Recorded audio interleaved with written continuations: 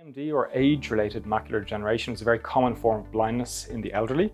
It's the most common form of central retinal blindness in the Western world, and we reckon that it affects approximately 1 in 10 people over the age of 55 in Ireland, and it's age-associated, so the longer you live, the more chance you have of getting AMD. So essentially, AMD also breaks down into two types. There's one form called neovascular AMD, and another form called geographic atrophy. So they're both end stages of the disease, but they're very different. They look very different. So people with AMD describe feelings of not being able to read properly, be able to drive, watch television properly because their central vision is gone.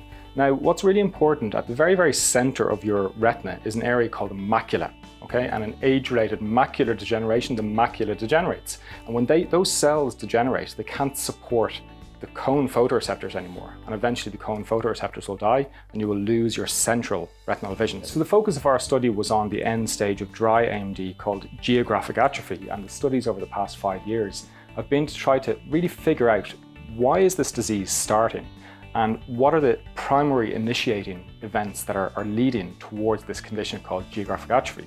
So to do that, our study incorporated a whole range of experiments that transcended translational models. So we used in vitro models, so cells in a flask. We used animal models, but we also used human subjects. We did clinical research to try to figure out and, piece together the puzzle of what is causing geographic atrophy. And we think that it's coming from the blood vessels in the inner part of the retina that are be becoming dysfunctional with age and driving the progression of this, this atrophic form of AMD. I've been lucky to meet people um, in the ophthalmology field, but also those patients with AMD and all they want to know is if there's a way to salvage some of their sight because I think the lack of being able to sort of recognise people, to be able to read, to write, to look at, watch a movie um, or drive, is kind of, I can imagine myself if I had lost the ability to do some of that, it would be really heartbreaking and sad.